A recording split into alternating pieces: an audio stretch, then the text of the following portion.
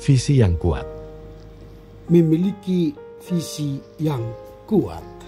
Salah satu ciri seorang pemimpin yang sukses ialah dia harus memiliki visi yang kuat.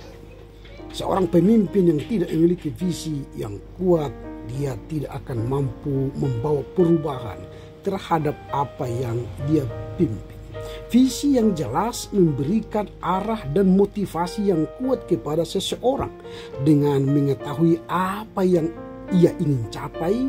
Seseorang dapat mengidentifikasi langkah-langkah yang diperlukan untuk mencapainya.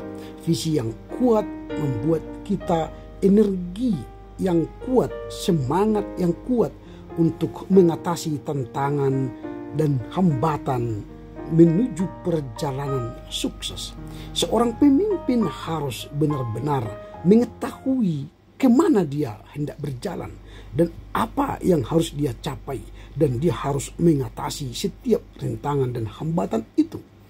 Visi yang jelas juga memungkinkan seseorang untuk membuat keputusan yang tepat dan strategis dalam menghadapi berbagai pilihan kesempatan seseorang yang memiliki visi yang kuat lebih mudah menentukan mana jalan yang harus dia tempuh.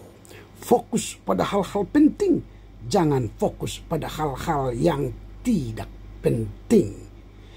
Visi yang jelas memiliki komitmen yang tinggi terhadap visi tersebut.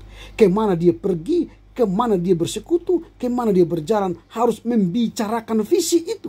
Jika visi yang dimilikinya tidak diutarakan, dijelaskan, maka visi itu hanya isapan jempol saja, hanya dicetakkan buku-buku saja, hanya di spanduk-spanduk saja, tapi tidak bisa diraih. Dalam meraih sukses, visi membantu untuk mengarahkan tindakan keputusan kita sehingga setiap langkah kita harus berjalan sesuai dengan visi. Karenanya rencana strategis menjadi alat untuk mencapai visi itu.